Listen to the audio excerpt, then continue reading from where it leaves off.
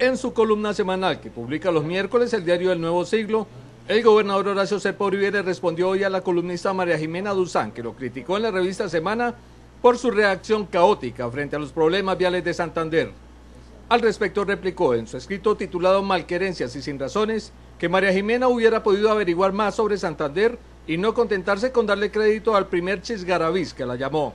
Agregó que Cuatro Sin Razones muestran la supuesta improvisación de la periodista. La tierra que se desplaza en la vía Barranca Bermeja no es que se conozca coloquialmente como coluvión, sino que así se llama Castiza y técnicamente.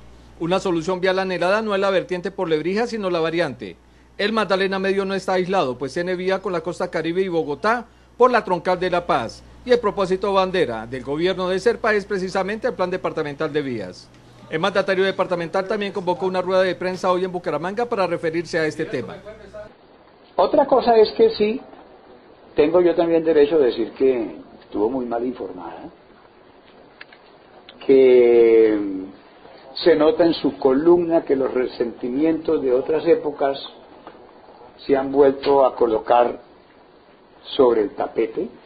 Rechazó que María Jimena Duzán le endilgue que ande en Ágapes, mientras casi todas las carreteras de Santander están interrumpidas y desde hace un mes hay gente haciendo peligrosos transbordos. Ustedes saben si yo vivo en Francachelas, y en comilonas aquí en el departamento de Santander.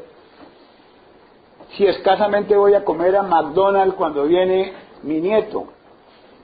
Reconoció que asistió a un homenaje en Bucaramanga en el momento más crítico del colapso vial, pero que había sido programado con dos meses de anticipación.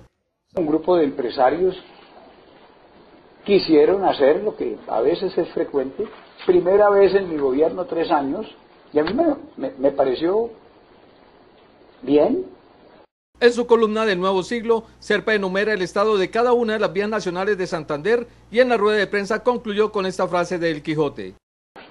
Ahí estamos y, como decía Don Quijote, si ladran Sancho es porque cabalgamos.